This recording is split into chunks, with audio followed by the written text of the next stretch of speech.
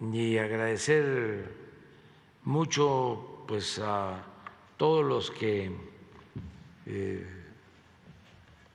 confían en México,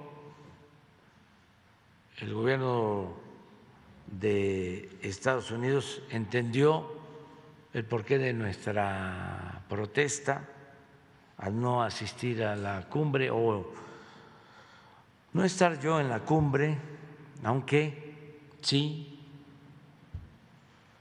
Fui representado y muy bien,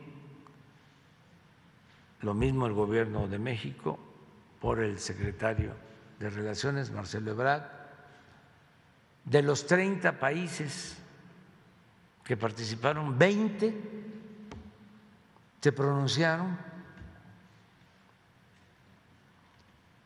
en contra de la exclusión, 20 de 30.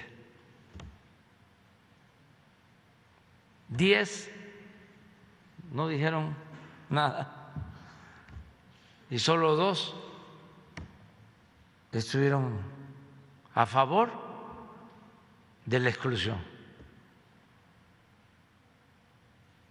Ojalá y se lea el mensaje y que busquemos la unidad de todos los pueblos, independientemente de nuestras diferencias que van a seguir existiendo. Pero tenemos que dialogar, ponernos de acuerdo y buscar la unidad de toda América. Entonces eso es lo que puedo comentarte. Pero quedamos con la compañera.